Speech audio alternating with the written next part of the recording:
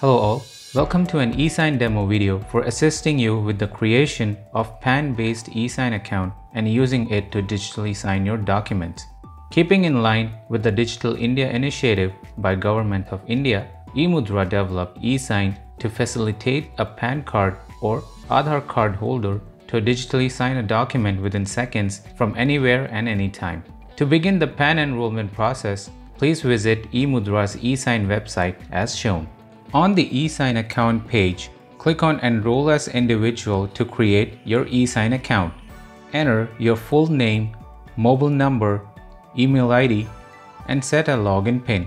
Now click on Create Account.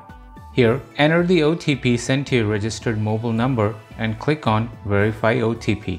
Once your OTP is verified, you will be redirected to a page where you can choose the subscription plan and click on Continue.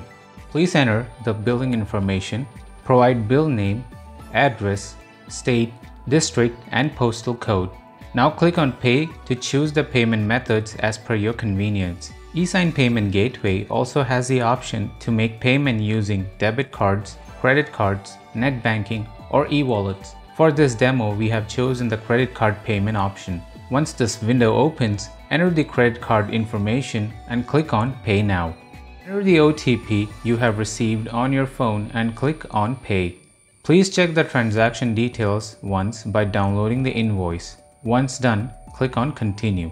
Select Using PAN radio button and fill in all the required details in your information window and click on Save and Continue.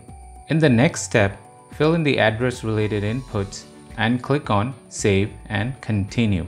Upload the required documents such as photo, PAN card, and proof of address and voter ID as prompted on the screen and click on Save and Continue. Before clicking on Start Recording button, please check if your webcam and microphone are switched on.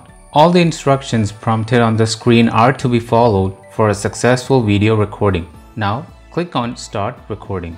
Please follow all the instructions such as in this frame, you are requested to read out the text loud and clear while displaying identity cards in your hand, click on submit button to complete the video verification process successfully. You can also preview the video before submitting by clicking on the preview button.